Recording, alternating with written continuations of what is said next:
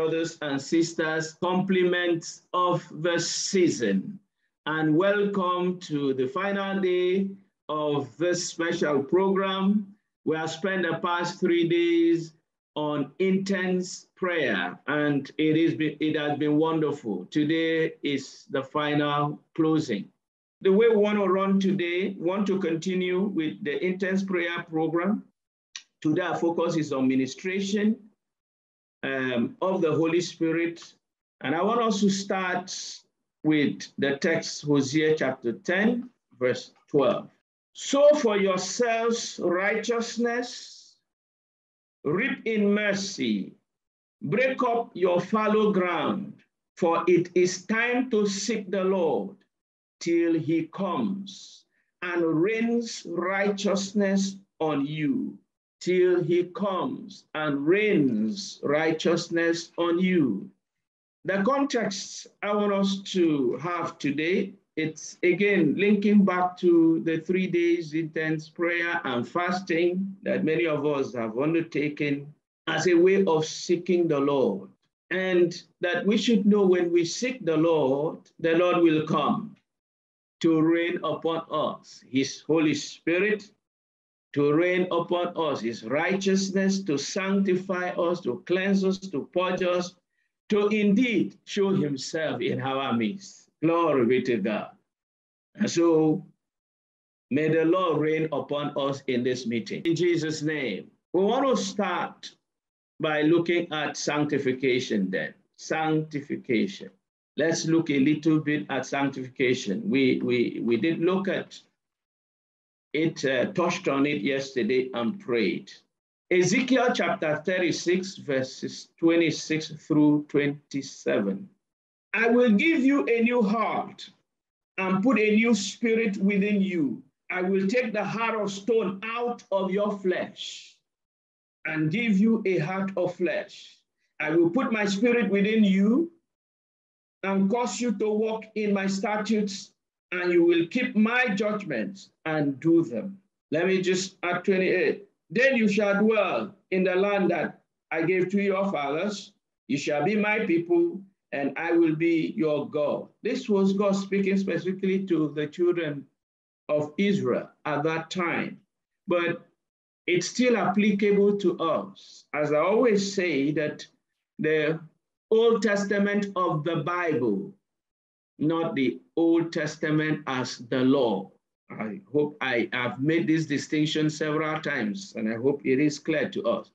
The Old Testament of the Bible provides a lot of um, examples and learning and principles of how one should really live in one's relationship with God.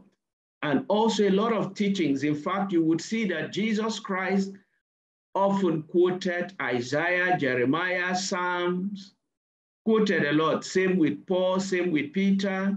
So the scripture is one. But of course, there is a very specific aspect that is the law that has been abolished. I say it as bluntly as it is.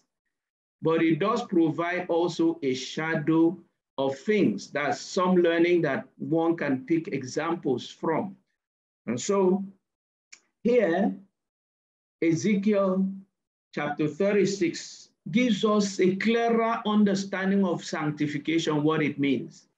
As we um, said it yesterday, stated it, sanctification is the removal, is a spiritual surgical operation that removes the nature of sin from one who has repented of his or her sins, has given his life or her life to Jesus Christ, and thereby has received the forgiveness of sins, and the Holy Spirit then comes in and transform that life. Is that transformation we always talk about? Is sanctification. Is an experience that the individual will know and know that number one, your sins have been forgiven. Number two, the nature of sin has been destroyed in your life. So we no longer become subject to the rudiments of the world. In fact, First John chapter 2, verse 16 makes it clear. It says, the lust of the flesh, the lust of the eyes, and the pride of life, they are not of the Father, they are of the world. And so, by the Spirit of God, the Spirit of God carries out this operation in us. Sanctify. So God sanctifies us with his Spirit and cleanses us with the blood of Jesus, as we always say, and the word of God. From there, we are able to obey God. That is sanctification. So here we see in the book of Ezekiel 36, God himself said, I will put my spirit within you. So it is by the spirit and cause you to walk in my statutes and you will keep my judgments and do them. Then, oh, and do them, yes. He said, I will give you a new heart. I will give you, verse 20, say, I will give you a new heart and put a new spirit within you. I will take the heart of stone out of your flesh and give you a heart of flesh. Take the heart of stone. So it is the removal of that nature of sin that is called a heart of stone. That attachment to the flesh that desires everything else contrary to what God desires. And that's why the Bible says in Romans chapter 8 that a carnal man cannot please God. A carnal mind or man Romans chapter 8, verse 7. It says, because the carnal mind is enmity against God, for it is not subject to the law of God, nor indeed can be. Is not subject to the law of God, nor indeed can be. So one who is not sanctified cannot please God, cannot do the will of God, is a stubborn rebel against God. And that's what the world wants many of us to be today. That's why all the theories, unfounded um, theories of human rights against God. Human right is good. In fact, I say human fairness. We should be fair. That's what Jesus taught. Do unto others what you would want them to do to you as I've often challenged the youths that I see so many youths empty, completely empty. Yet they are the ones all over the social media calling people, calling people out. And the key word in their mouth is accountability, and yet they are accountable for nothing. Not in their personal lives, not in anything. Anyway, that's just a side comment. But let's go back to the point. It, it, that was to demonstrate the carnal mind. Carnal mind is a stubborn rebel against God. So what is needed is sanctification. Look at verse 6 with me. Or let's start from verse 5. For those who live, that's I'm reading Romans chapter 8, please. Start from verse. For those who live according to the flesh set their minds on the things of the flesh. But those who live according to the Spirit, the things of the Spirit. For to be carnally minded is death, but to be spiritually minded is life and peace. Then that seven came. Because the carnal mind is enmity against God, for it is not subject to the law of God, nor indeed can be. So many people try to be holy by their own might and power. No, you submit to God through Jesus Christ and let the Spirit of God sanctify you. And there are also people who refuse sanctification, even though they have given their life to Jesus. They choose to enjoy their own life. When I say enjoy, not necessarily that they enjoy, that is, for example, people who say, no, they cannot give up fornication. In fact, they start arguing, where is it in the Bible? Oh, they cannot give up masturbation. Where is it in the Bible? They themselves know this thing is a sin, but they want to hold on to it. So on one hand, they claim they are born again, they are pious, they are churchgoers, they do a whole lot of things, preach the Bible, but on the other hand, have refused to allow the Spirit of God to operate in them, operate upon them. Why is sanctification important? Number one, it is the only way to please God. And it is only those who please God that will make it, that God will take with him when Jesus comes to judge the world. Number two, it is the prelude, the prelude to manifesting the gift of the Holy Spirit, manifesting the power of God. Please note these two points. It is the prelude to. So that's where many of us are limited. It is the prelude to the mani- to manifesting the spirit, the power, rather, the power of God. Ephesians chapter 5, verses 25 and 27, often read for um, husband and wife's counseling, but it holds a lot more.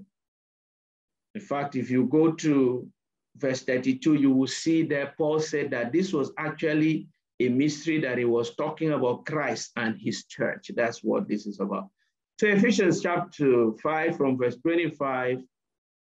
Husbands, love your wives just as Christ also loved the church and gave himself for her, that he might sanctify and cleanse her with the washing of water by the word that he might present her to himself a glorious church, not having spot or wrinkle or any such thing, but she should be holy and without blemish.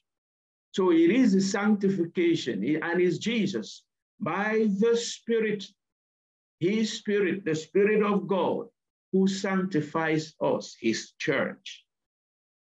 It is His responsibility what is our own responsibility? To submit to Him. When we submit to Him, when we say, Look, this thing in my life, this anger, let it go. Lord, help me. He, the Spirit takes over and takes the anger away.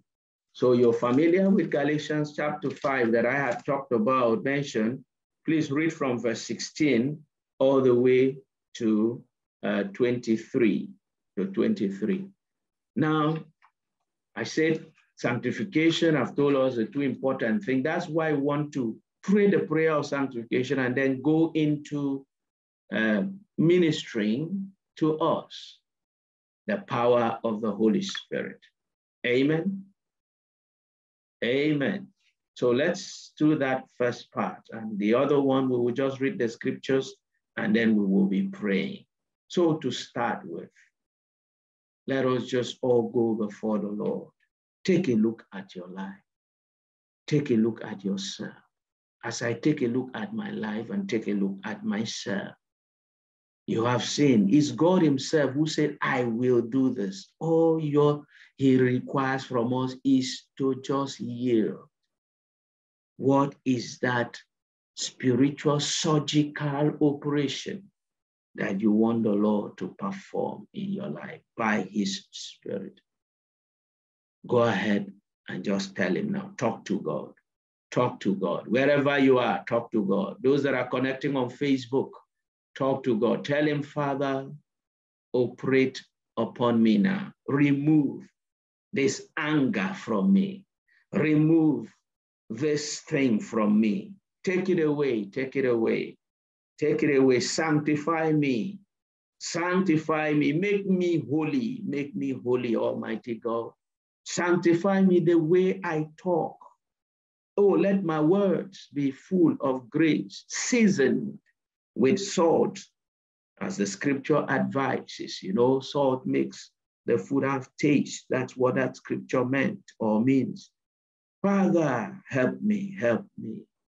Help me. Almighty God, sanctify me. Sanctify me. In Jesus' name we are prayed. Now we're going to pray that prayer together again. Say, pray with me. Say, Heavenly Father, we surrender ourselves again to you. We surrender our life to you, Jesus. according to your word in Ephesians chapter 5, verses 25 to 27. We ask, Lord Jesus, sanctify us, cleanse us with your spirit and with your word. Wash us with your precious blood. Transform our lives. Make us holy. Make us glorious. Make us without spot or wrinkle. Make us unblemished to you. Make us indeed your vessels of honor, that you may use us for your glory. Sanctify me, Lord. Sanctify my brothers. Sanctify my sisters. Sanctify everyone here. In the mighty name of Jesus. Tell him, Lord, I will hold back nothing from you anymore. I will serve you with all my life. I will hold back nothing, nothing. You know, some people, they will say, you know, the flesh is weak. No, no, no, no. The flesh is weak. That's why God sent the spirit. So the spirit will take over the flesh, transform us. Give up that habit. The grace of God is available, the spirit of God. So go ahead and tell him, Heavenly Father, pray with me again. Please, the areas of my weakness. Now go ahead and mention those areas of weakness. The areas of my weakness, Father God, weakness in rage, weakness in anger, weakness even in fear, Father, the areas of my weakness, weakness in lacking courage to stand up for you, weakness that I cannot carry the name of Jesus. And yet, Jesus, you said you will be ashamed of those who cannot stand up for you, who cannot carry your name. Father, Lord Jesus, please help me. Remove every area of my weakness. Remove it, remove it. Transform me. Transform me. Where I am weak, please supply strength now. Supply strength, change my life, remove whatever doesn't please you in my life, remove it. Sanctify me by the blood of Jesus, by the word of God, and by your spirit in Jesus' mighty name, we have prayed. Amen. So we want to get into the Holy Spirit prayer side now. But let's take two key uh, points. I want to talk to us on the power of waiting, the power of three days waiting, the power of three days waiting.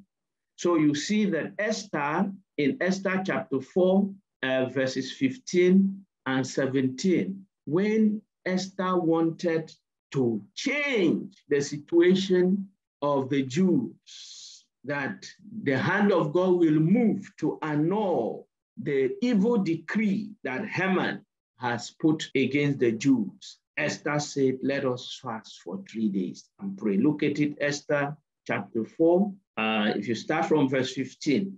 Then Esther told them to reply to Mordecai 16, go gather the Jews who are present in Shushan and fast for me. Neither eat nor drink for three days, night or day.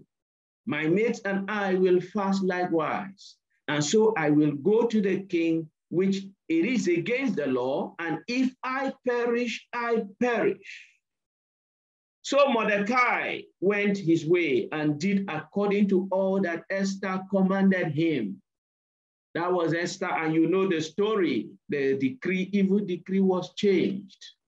And the heart of the king, which is in God's hand like rivers of water, was turned around, and the king favored Esther.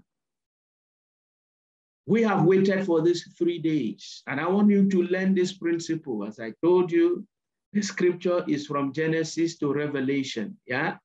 So not Old Testament, New Testament. Because some people look at it, oh, Old Testament. No, it's the word of God and life principles.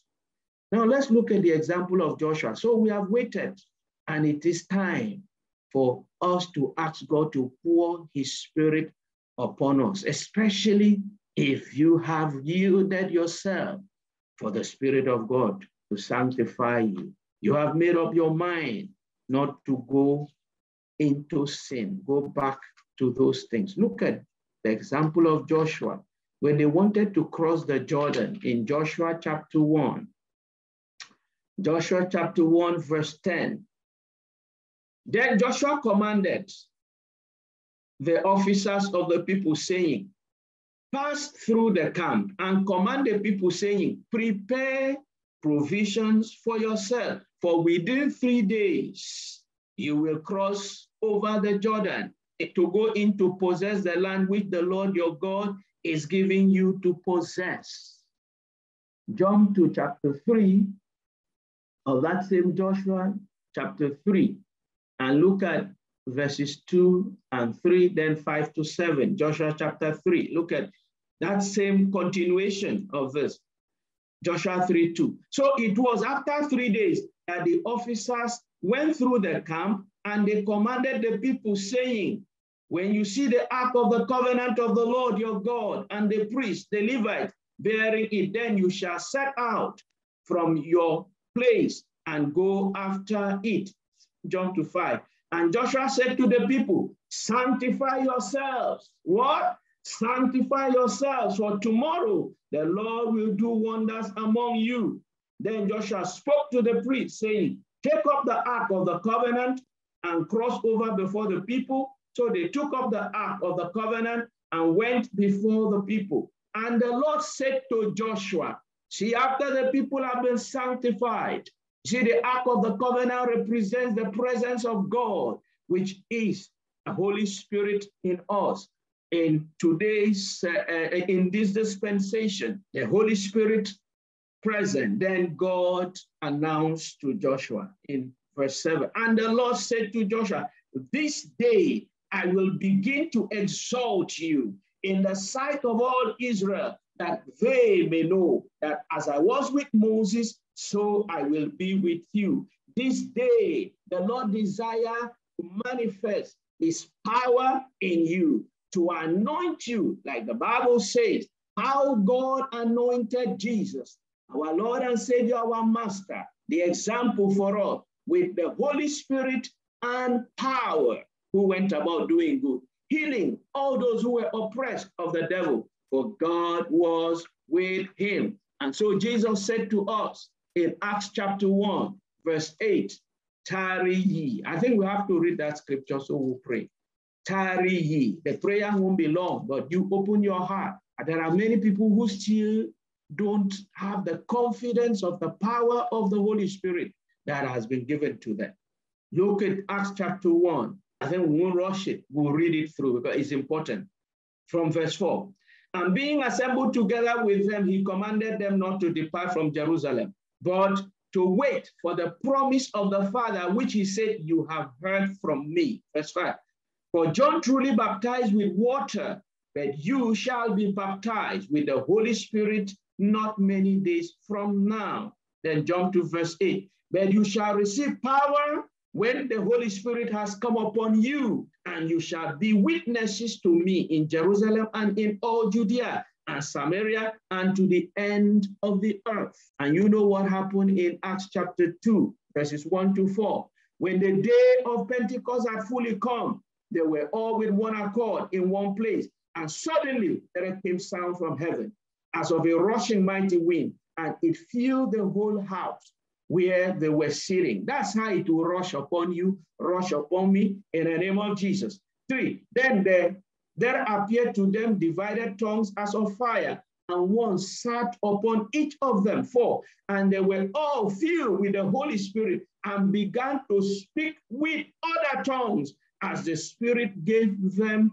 utterance. The Spirit of God will give you utterance to speak with other tongues today in the mighty name of Jesus. And you remember that while the people were confused, as some people will do when you speak in tongues, they say, ah, this one, the Spirit of God will give you utterance today in the name of Jesus. Peter in verse 14, but Peter standing up with the 11 raised his voice and said to them, Men of Judea and all who dwell in Jerusalem, let this be known to you and heed my words, for these are not drunk as you suppose, since it is only the third hour of the day. But this is what was spoken by the prophet Joel, and it shall come to pass in the last days, says God, that I will pour out my spirit on all flesh, on all flesh. So it is your portion, it is my portion. The same Acts chapter 2, if you jump all the way to verse 39, 38 and 39, see there again. Then Peter said to them, Repent and let every one of you be baptized in the name of Jesus Christ for the remission of sins, and you shall receive the gift of the Holy Spirit. 39, for the promise is to your is to you and to your children and to all who are afar off, as many as the Lord our God will call. It is for you. Raise your voice, therefore, with me to heaven. Say, Heavenly Father, oh, baptize me afresh with your Holy Spirit and power. Go ahead. Father God, baptize me, baptize me afresh with your Holy Spirit and power. Heavenly Father, baptize us, every one of us here, oh, as you did for the disciples. When the day of Pentecost had fully come, they were in, in the upper room. They were all with one accord in one place. So are we here today. Father, baptize me, baptize my brothers, baptize my sisters with your Holy Spirit and power in the name of Jesus. In the name of Jesus, go ahead and pray that prayer for yourself. Heavenly Father, baptize me. Oh, I, I, I feel, I feel the anointing of the Holy Spirit. As I've told us, I said, it's not by the feeling, but most times, most times, you will feel the sensation of the Spirit upon you. Sometimes your hand, your uh, uh, uh, um, your heart, your, your, your chest region. Sometimes depends on you. And as you begin to walk with the Spirit, you will know. Sometimes just uh, in your ears, anywhere can be your whole body. Oh, sometimes you just feel him uh, around your back. You just feel the, the sensation, the heat that something extraordinary is happening. And sometimes when I feel that and I lay my hands on people, people that were just normal standing, you begin to see them shake, you begin to see them move. Go ahead and tell him, Heavenly Father, baptize me with your Holy Spirit and power. Lord Jesus, as you promised and as you have done, the same do for me now. Do for me now. In Jesus' mighty name, we have prayed. Beloved brothers and sisters, we receive the Holy Spirit by faith, especially for those who have prepared like we have prepared. And you can always keep doing this and keep doing this. And so pray with me again and say, Heavenly Father, pour your spirit upon me and my entire household. Pour your spirit upon me pour your spirit, baptize me with your Holy Spirit and power. I and my entire household, my wife, my children, Lord God Almighty, wherever they may be in their respective location, my entire family, Father, baptize me with your Holy Spirit and power and baptize my entire household. Go ahead, mention their names. Mention their names now. Go ahead, mention their names. Mention their names. Father, baptize me with your Holy Spirit and power. And baptize my wife, Gloria. Baptize my daughter. Baptize my daughters. Baptize my son. Baptize my entire household. Oh God Almighty. In Jesus' mighty name we are prayed. Amen. Now look at Acts chapter 4 with me, because some people may be saying, ah, I have received the Holy Spirit. So what's the point of repeating this. Oh, you need to keep renewing yourself in the Holy Ghost. Because after this last prayer, you're going to begin to speak in tongues. Don't hold back. Don't hold back. The Holy Spirit you hear, he said he will rain, he will pour his spirit upon us like rain. He will pour, he will come upon us, rain upon us, righteousness. That's the same way he rains his spirit upon us.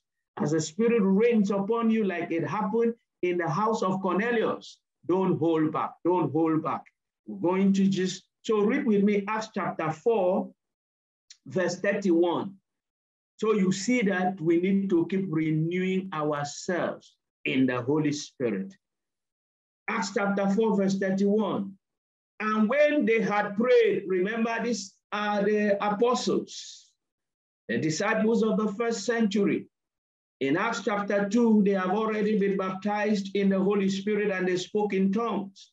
But look at what happened in Acts chapter 31. And when they had prayed, the place where they were assembled together was shaken, and they were all filled with the Holy Spirit, and they spoke the word of God with boldness. Open your mouth now and pray again. And we're going to pray for one another. This time is a prayer of agreement. Pray with me and say, Heavenly Father, we pray in the name of Jesus.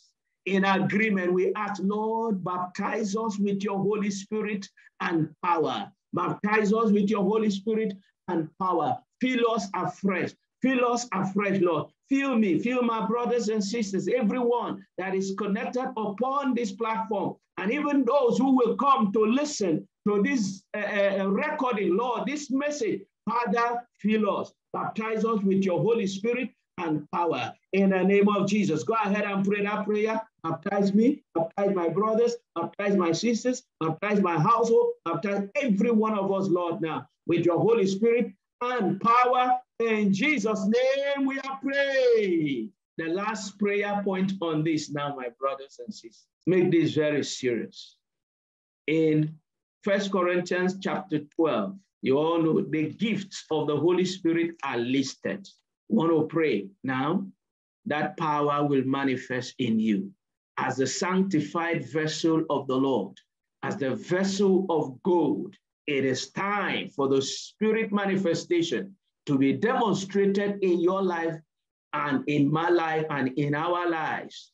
And after this, go ahead, pray for the sick, cast out devils, preach the gospel of our Lord and Savior Jesus Christ. Raise your voice to heaven and pray with me and say, Heavenly Father, in the name of Jesus, we come to you in agreement and we ask, oh God Almighty, let the gifts of the Holy Spirit manifest in us now.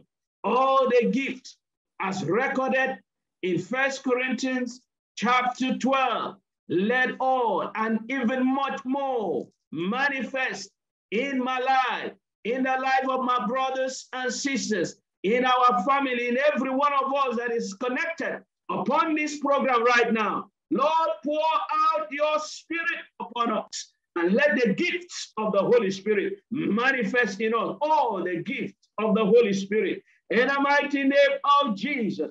Father, manifest in us by your spirit the gift of word of wisdom. In the name of Jesus. Manifest in us the gift of word of knowledge. Manifest in us the gifts of healings. Manifest in us the gift of working of miracles. Manifest in us the gift of prophecy. Manifest in us the gift of discerning of spirits. Manifest in us the gift of diverse kinds of tongues and interpretation of tongues. Manifest in us, Father God Almighty, all the gifts of the Holy Spirit. In the mighty name of Jesus Christ, we have prayed. Amen. Now just go ahead and begin to speak in tongues. Receive the outpouring of the Holy Spirit. The Almighty God, in the name of Jesus, the one who asked us, asked the Father for the Holy Spirit, and he will give to you in my name the one who said, I will baptize you with the Holy Spirit and with power. In the name of Jesus. Father, pour your spirit upon us, baptize every one of us, and now let the Holy Spirit gift manifest in every one of us. Receive the gift of the Holy Spirit and receive the, money, the, the, the, confirmation and the enablement, the utterance, the unction of the Holy Spirit now. In the name of Jesus. Sweet Holy Spirit, express yourself fully in the life of all these your children, in my life and in their lives. In Jesus' mighty name, we have prayed. And let us say, Amen. Now go ahead and just speak in tongues. Just speak in tongues for uh, uh, 30 seconds.